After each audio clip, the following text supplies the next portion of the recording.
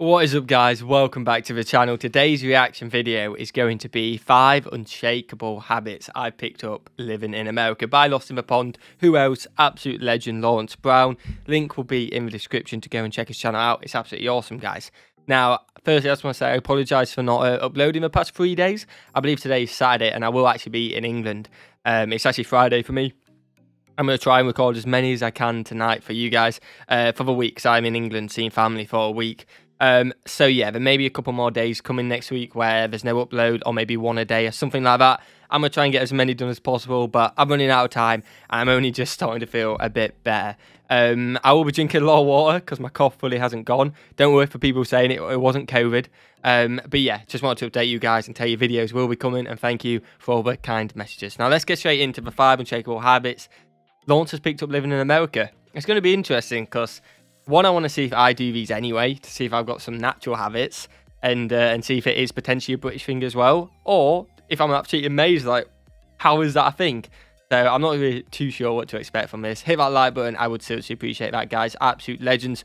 Like I said, I'm going to try and get as many videos as possible this week. And then the week after, you're going to be flooded with videos. I've missed doing videos every single day, guys. So you're going to be absolutely flooded. So hit that like button, guys. Hit that subscribe button if you're new around here. I'd really appreciate that. And let's kind of get straight into it, even though it's been probably a couple minutes. But let's get straight into it, guys. Five unshakable habits that Laurence has picked up since living in America. Tomatoes. Tomatoes. Tomatoes tomatoes. I was I was going to yep. say tomato.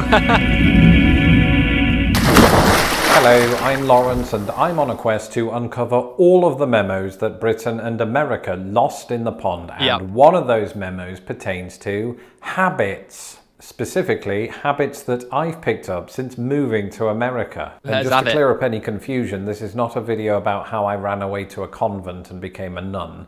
That's a separate video.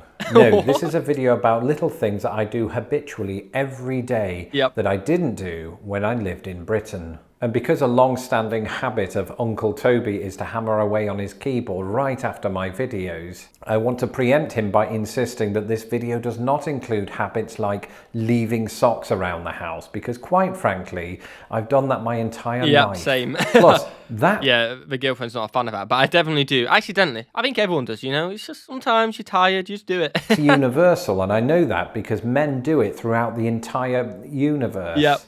The entries in this video were heavily inspired by American culture. And okay. so with that in mind, here are five unshakable habits I picked up after moving to America. What we got?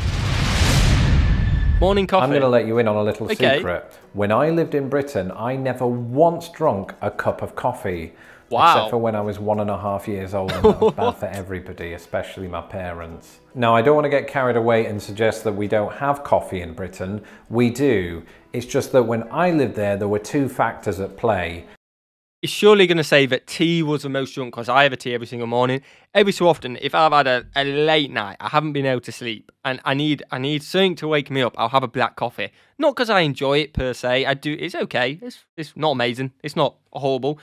But every other morning I'd pick a tea, 100%. But I do know people in my work who have a coffee every morning because that is what they like. It one to wake them up because they need that extra bit of caffeine. I know tea does have caffeine in it, but obviously coffee has a lot more. Um, but tea widely drunk a lot more. But those people drink uh, coffee, and I get that US connection because you guys hardly drink tea. Um, so I completely get that. Number one, tea was more popular, tea, and number yep. two, per capita, Americans drink way more coffee than the British. It should be yep. noted, of course, that the United States is by no means top of worldwide coffee consumption. After all, people in Nordic countries drink three times as much, which frankly is absurd. Is Nonetheless, that, even though coffee consumption has actually increased in Britain since I left, presumably because people need it as a coping mechanism, coffee is still more prevalent in the United States. I can imagine, And. I really started drinking coffee because all of my work colleagues were doing it. And I didn't want to feel left out. Before I knew it, I couldn't stop. And that might sound to you like an addiction as opposed to a habit, but here's where the habitual nature of coffee drinking comes in. I've made it a habit to drink coffee as soon as I wake up. And I Okay, need that just play. to compete with my cat because when I wake up at 5 a.m., usually in zombie like fashion, I'm always struck by how he's up and about like it's nothing. Here I am accidentally pouring coffee into my cereal, and he's already had breakfast, cleaned himself three times, and fought off an imaginary mouse. Yeah, I don't know about you guys, but I don't have that problem because I wake up last minute, hop in the shower, straight out the door. It takes me about 10 minutes to get ready, straight out the door, and then have a croissant at work, I guess, or maybe nothing, and have my cup of tea at work. I don't have any of them problems. I don't get up at 5 a.m. I get up at 7 a.m., like last minute, and I'll start at 8, and it's a half an hour journey. So I've got to be very quick getting ready. I don't have any of them problems. But coffee isn't the only thing I picked up in the workplace. Corporate jargon. Like any oh, other country in the world, America has languages within languages, and one of those languages is corporate speak.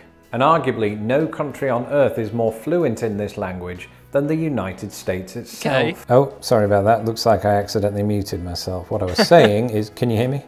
What I was saying is, I got another email today from Martin saying we need to touch base about those SOWs. And I still don't know what an SOW is. to, to me, an SOW is a female pig.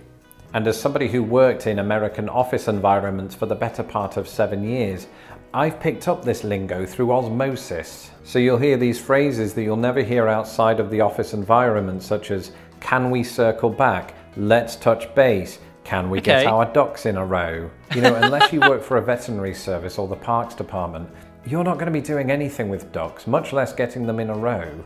No, I definitely where that's. I, I get where it's coming from. I was a little bit confused at first, but that makes sense. I think it's just office lingo, isn't it? I'd say lingo, not jargon.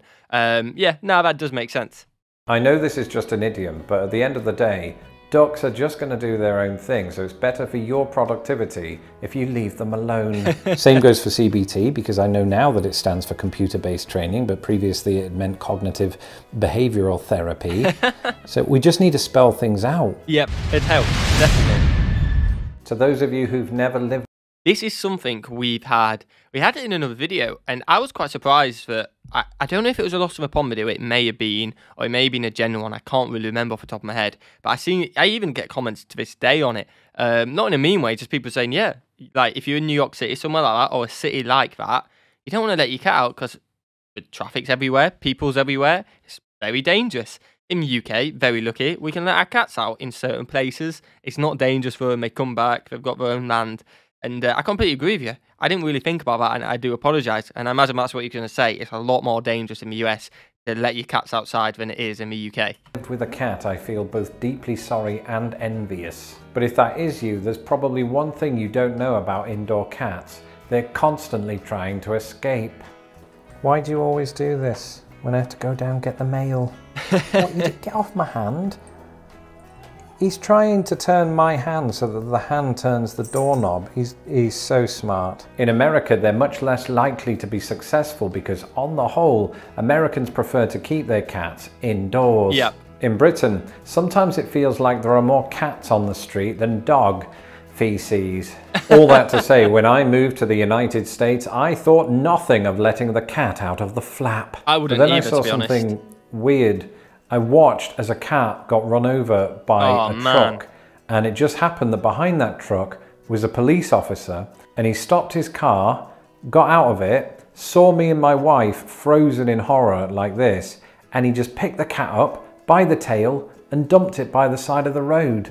And in that moment, I had an epiphany. If one of my cats got flattened by a truck, I wouldn't want them to have such a demeaning burial I mean, or to be flattened by a yeah, truck. I was about to say that, or just to be flattened. I mean, let's be clear. And so now, every time I leave the house, I have to make sure the cats aren't following me. yeah. They're indoor cats. They're not going anywhere. They're staying put. sense.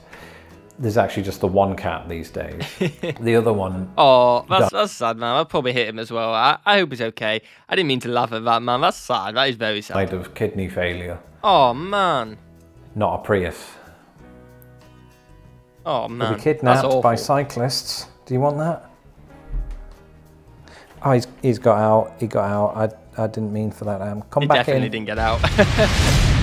Direct communication. When I lived in Britain, I had a habit of forming communication with other people in a way that didn't put them out. So I'd go out of my way to say things in a manner that couldn't be perceived as confrontational, tagging statements with questions like, would you mind if I, or would it be possible to? That's and what after I do. years of living in America, I've learned to get straight to the point, my videos notwithstanding. Hello, yes, I'd like to order a delivery, please.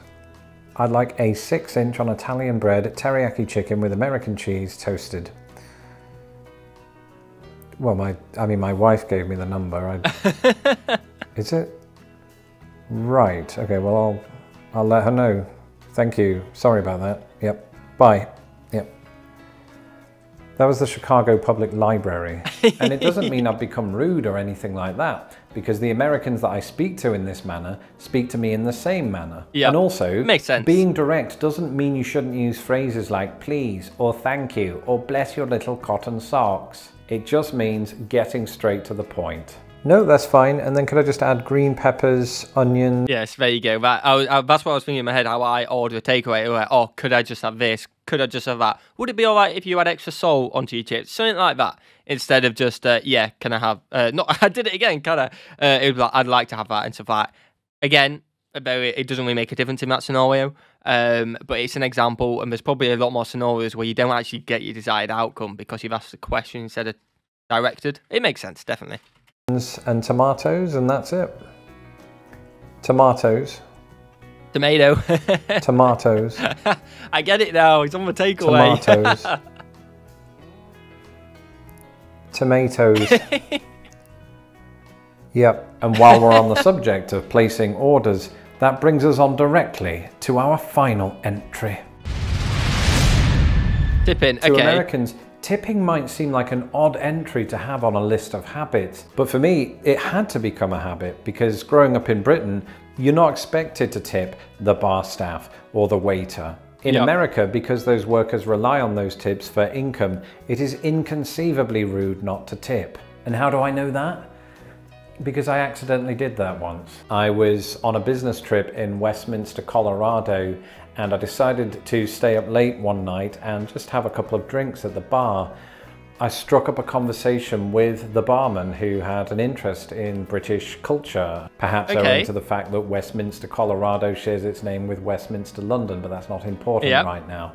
What's important is we stayed up for about two hours talking until I was the last customer in the bar. He went into the back to do whatever bar staff do in the back, and I took that as my cue to leave. And as I was on the flight back to Indianapolis the next day, it hit me.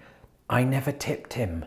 And I still feel really bad about Oh, that. man, I So bet if you're watching, I bet that bartender's good. I mean, I, I imagine he's happy he's had a fantastic conversation, but come on, Laurence, man. You're meant to be showing the British in a good light. barman from the Doubletree in Westminster, Colorado. This video is dedicated to you. no, you've been great. So one last thing. When I put a tip on the receipt, does that go to the delivery person or does that go to you?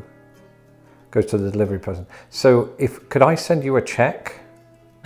you personally for say, you know, 20% of this because well, people think that I'm some sort of YouTube sensation, right? It's not not my words, and I don't want to be seen to lack generosity.